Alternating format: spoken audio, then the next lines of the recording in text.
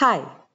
To ensure your compliance with the new requirements stated in the Finance Act by the Indian government, your ERP from Oracle's JD Edwards Enterprise One not just calculates TDS on purchase of goods, but also displays this amount on the Calculate TDS report.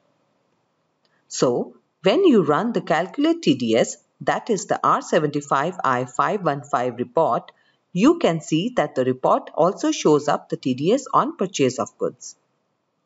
The report calculates the TDS based on the effective legislative date that you can specify in the relevant processing option of the report.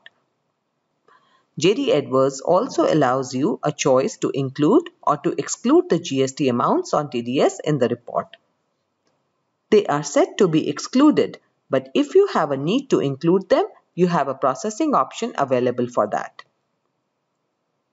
To learn more about the JD Edwards Calculate TDS report, visit us online at learnjde.com.